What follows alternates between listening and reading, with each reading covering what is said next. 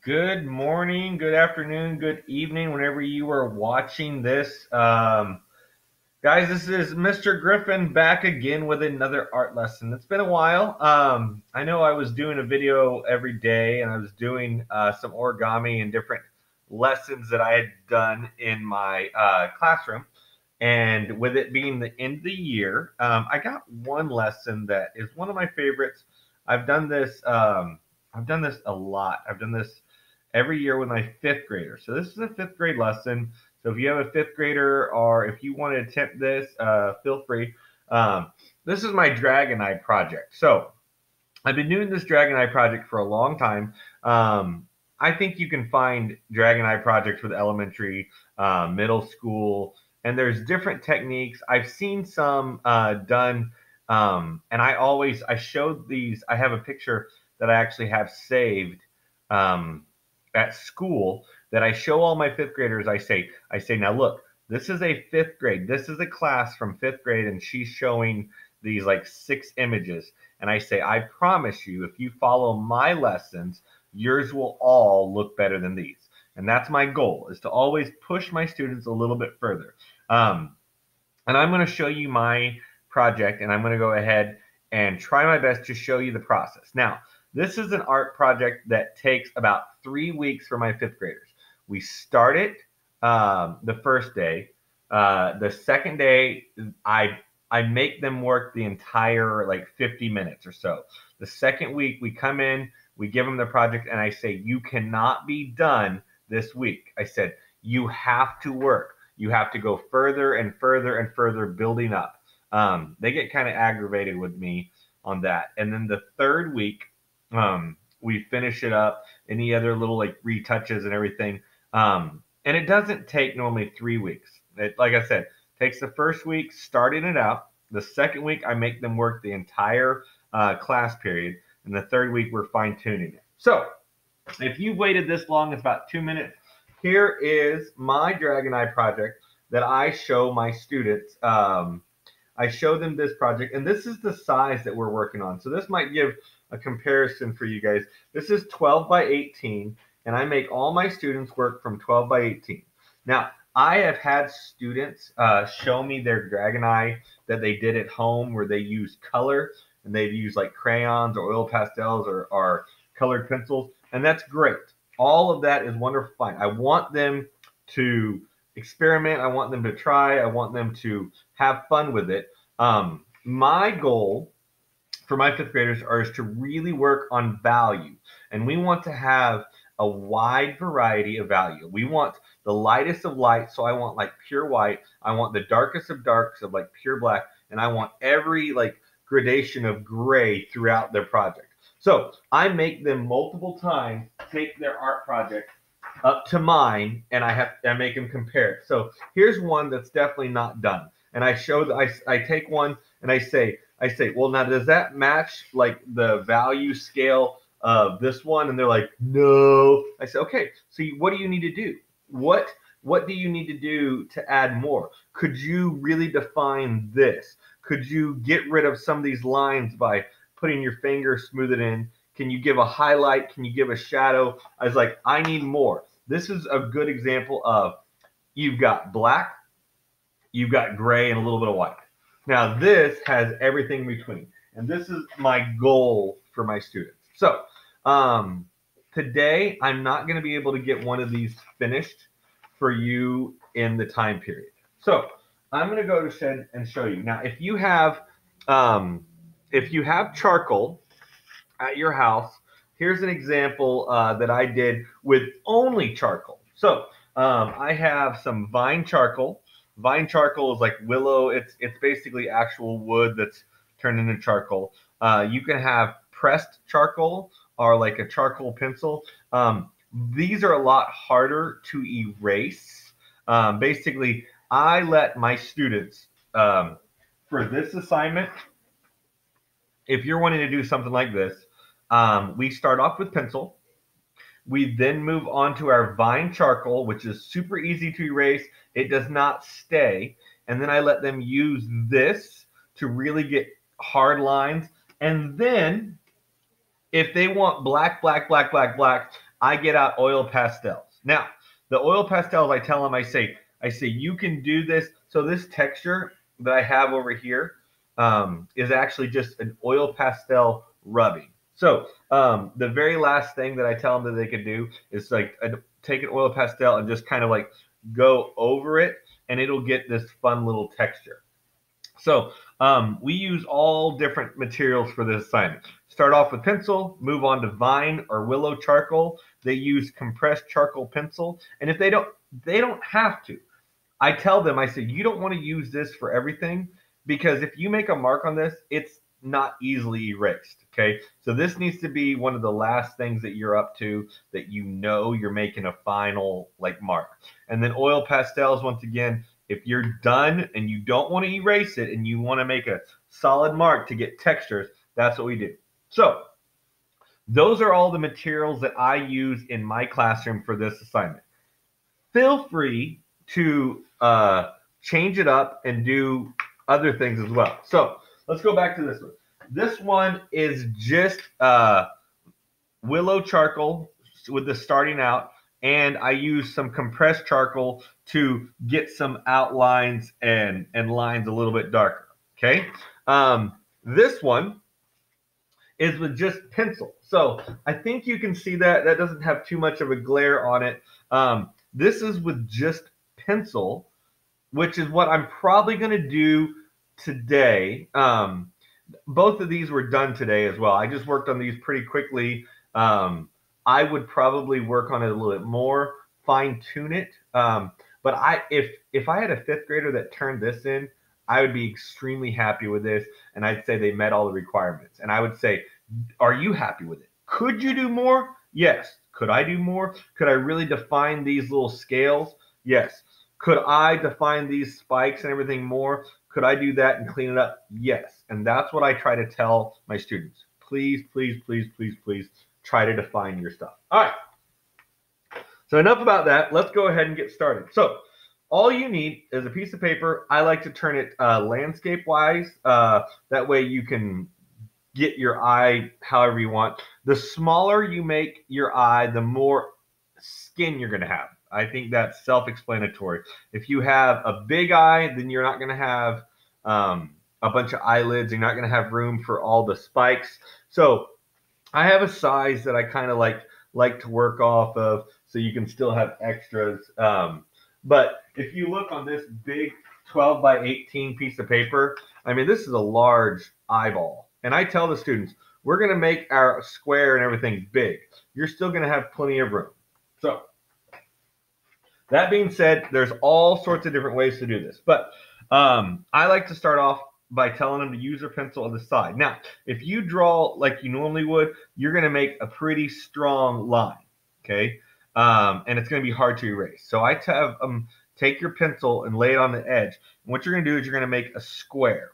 Now, a lot of this square, a lot of this square is going to get erased anyways.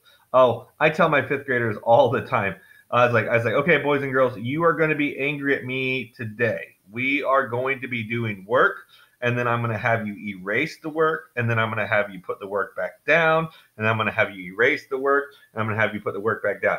It's like this this project, the kids seem very repetitive because we're doing something, we're getting rid of it. We're doing something, we're getting rid of it. So start off with a square and then inside the square, you're going to draw a circle. And I say, you cannot just draw your circle one time.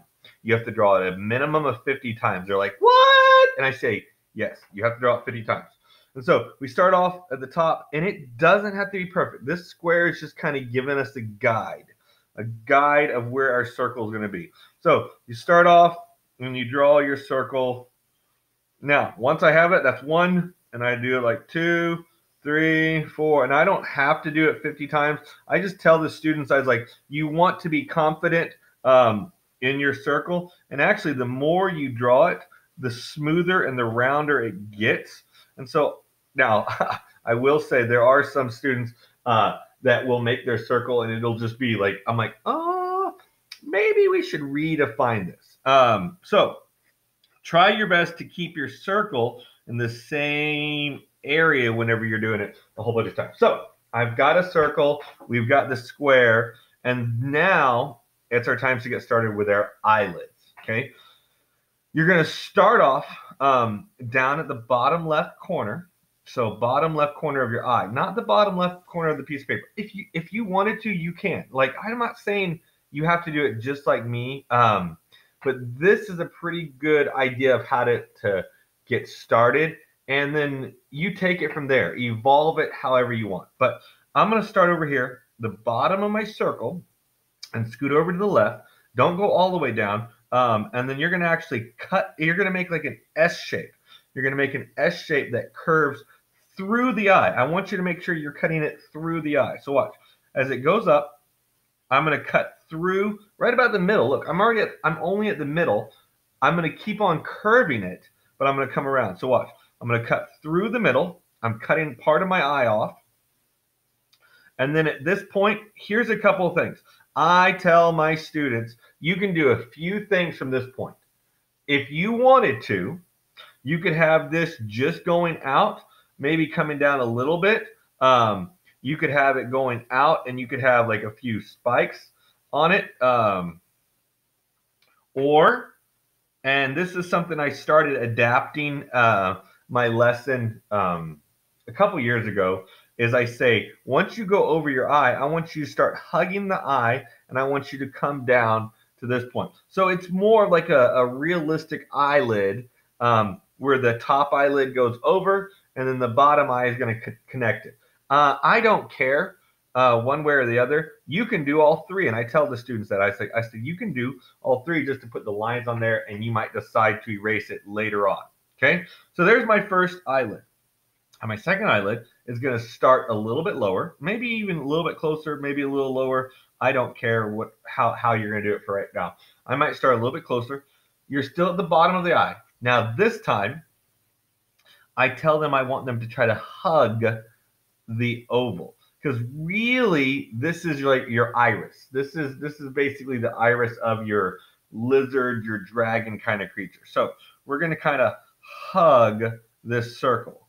So watch. I'm going to hug this circle and then I'm going to come back up. Now, at this point, once again, you can connect. You can go all the way up and around. Um, so I'm going to go all the way back up and connect it to here. You could, and this is where you could put a couple like little spikes. Uh, so you could have some extra little flare. Uh, maybe it has like some feathers, uh, maybe it has some flare, um, or it doesn't have to. So I like to have like some kind of like think uh, anatomically. You've got an eyelid that comes over and an eyelid that goes up. Maybe the bottom one doesn't move as much. The top one is the one that that rolls with it up and down. So uh, maybe the top, the bottom one is just more like sitting there aimlessly. All right. Now, if you've got two eyelids, good job. But we're going to do two more little curves or wrinkles to add um, variety to our eye. So the second one is going to be above, and it's going to kind of basically hug that top circle. So this is basically where the eye opens and there's just a wrinkle in here. So I'm going to go ahead and make this uh, kind of like hug that top part.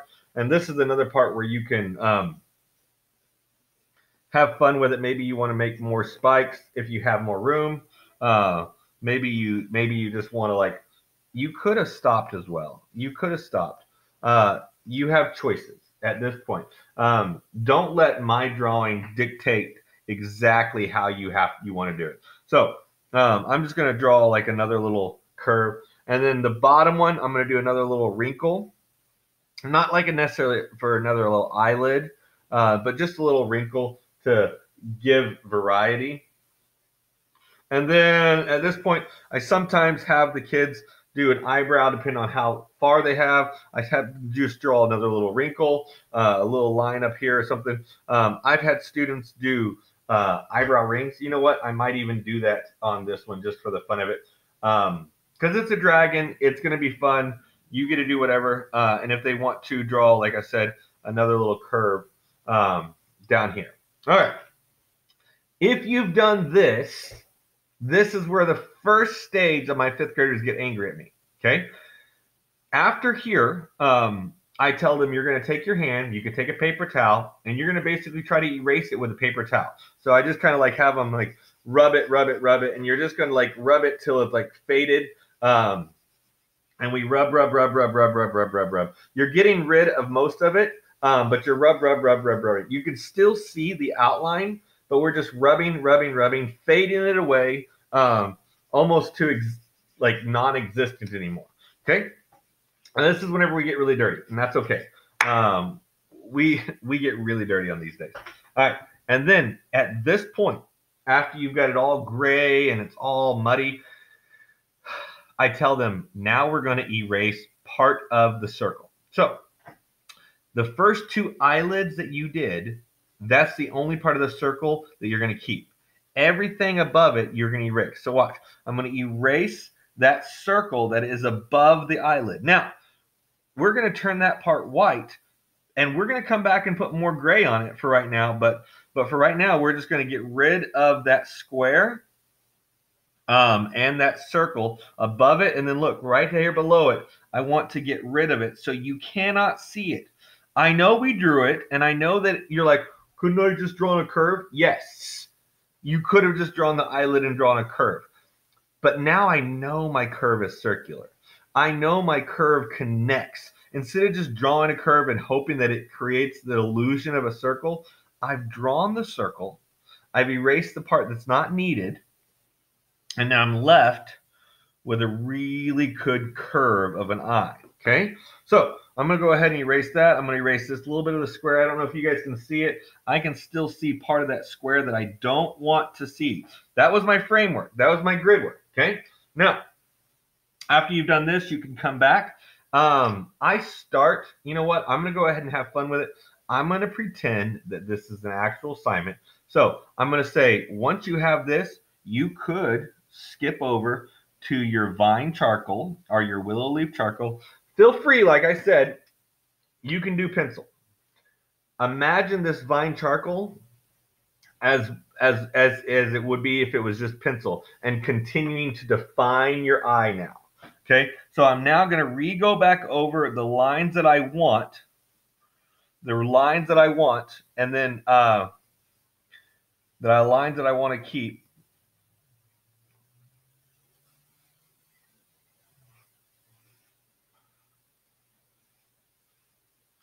Lines that I want to keep. Um, not for sure what that's going to look like. And, and then you re-go over the part of the curve of the eye that you were keeping. So, and if you want to at this point, you can make this part dark. Now, the problem with vine charcoal is look, I can erase it almost completely with my hand. I can erase it completely with my hand. So, uh, you've got to be careful uh, with with just doing vine charcoal. So it's not going to get perfectly dark. It looks great whenever you're drawing it, but if you don't put uh, a, a hairspray or a fixative on there, it's going to be able to fade. So pencil is great. It's not going to do the same thing. Um, and that's whenever I tell the students we might want to move to this as well. Once you're confident in your in your marks, once you're confident in what your marks are going to be. All right. So here's the start of our dragon eye, and then we say, um, what is what is your pupil going to be? Now, as you can see before, I did a diamond. Um, I have done a circle. I think I did a diamond earlier, and then I also had a lightning bolt. Um, you can do whatever you want. I've seen students talk about ear, uh, not eardrops. Uh, that would be weird. Don't do eardrops. I don't know how to do eardrops, but I'm going to do a raindrop, uh, a little bit different. And you could do a heart. You could do a flame. Um, I tell them to do also. I've seen the uh, like a Celtic cross kind of things. I've seen students do scars uh, through their pupil. I think they're just great. Please, please, please, please, please look up pictures of dragon's eyes. There's lots of artists that do dragon's eyes. Find your own unique vision, your world, whatever. So I'm gonna do a raindrop. I, I mean, not that it even makes sense, but maybe my uh, dragon is a water dragon, so it's actually got some kind of like weird raindrop pupil. Okay. Um, Now, a part of the pupil might want to stay white, while everything else could become black. Because it's a pupil. Now, parts of it might be blacker than others, parts of it might not be black, but you might want to keep a little bit of it white with the majority of it black, and I could always erase that. Um, also, if you think anatomically, and this is an eyeball, uh, the eyelid is going over, and depending on how your creature is looking, depending on how your creature is looking, maybe the shadow is coming from a different direction. Um, but if the eyelid is coming over, the top of the eye might be a little bit uh, darker. So you might do that. Now, this is just a highlight. So we've got eyes, uh, the sun's coming down, uh, and it's hitting just ever so slightly. Uh, and we've got that. So, and I know that I'm, I'm not happy with this. I, I could probably work on this for a long time. Um, and I might go back to pencil. And I tell the students, please feel free to go back to pencil um, whenever you want to. Um, whenever you want to go back to pencil and and really define because you can you can still define on top you can mix media this all you want and have fun with it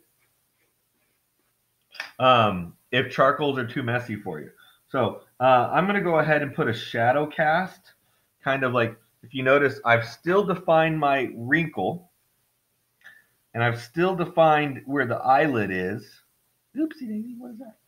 Uh, I've still defined where the eyelid is. Um, but I also want a shadow cast like right here, and then I can really uh, put my finger in there and and this is where the charcoal pencil really works. Um, because a charcoal pencil you cannot erase easily. Uh, you cannot erase this easily. This is this is no longer, this is how you would define a mark in my class with that. So we've got that. Ooh. Um, you can have all sorts of things. I see that I'm about at 22 minutes. I don't want you guys to get too bored. So, um, I might continue this. I might not. This is the basic concept. Um, I tell my students, please don't be afraid to put a lot of charcoal on there. And then guess what? Once you put charcoal on there and you get it all over it, I'm going to tell you to rub it. I'm going to tell you to then come back and erase the part that you want to be highlighted. I'm going to tell you to erase the part that you want highlighted. And you're going to keep the shadows and the grays. Uh, you can define your eyes with the side of a, an eraser there's so much that I do with this lesson. Um, and I don't know if I've done it justice for this little short period of time. Um, I don't do all of this in one setting for my students. I don't want you to think that I talk the entire time in my class, but I do show them how to do it. I show them how to get started and then we kind of work on it. we build it up. We build it up, and then I start showing them. Um, I was like, maybe you want to add, um, like I said, a an eyebrow ring. So maybe you wanted to add a ring, and how would that ring look? Um, how would that ring look whenever it, it's going inside of your dragon? and I'm not saying they had to do an eyebrow ring. Don't get upset at me if you don't like eyebrow rings or whatnot. I'm just saying maybe your dragon wants some decorations and some furniture and some accessories. Furniture? I don't know. Maybe you can put furniture on there. Couldn't hurt. But jewelry and some extras, nuances, and stuff that you can have and don't be afraid to make a mistake. Oh my goodness, I tell the students all the time if you make a mistake, there's such thing as a pencil or an eraser, and we can erase it and we can try our best again and we can build it up. And then you can add shadows and stuff. So I don't know what's going on with this dragon. I don't know where it's going to end up at. I hope you enjoyed it. I want you to once again, we'll end with these. We'll end with these. These are more closer to an end result. They still take a while for me, guys. I, I was like, obviously, I've been working on this for about 25 minutes, um, and I'm nowhere near as far as this. I tell my students, you have to compare. You have to come back. You have to get more grays. You got to get more variations. Um, have fun with this. Look at other dragon's eyes online. Come up with your scales. This is a fun little thing that I do. Uh, I like this texture. All this is is like I think of a heartbeat, and I just kind of let my pencil kind of like wrinkly, kind of like going over through here, and I put little marks through here to give my texture uh, on my dragon. So I do that a lot. All right, guys. I don't want to take you guys up too much more more time. I love you. Be safe. Have fun. Um, enjoy these dragon eyes. They're all looking at you. So hopefully you guys are going to have fun with these. Make something fun. Um, tell me how you liked in the comments and come back a while and maybe I'll make some more videos. All right. Be safe. Bye.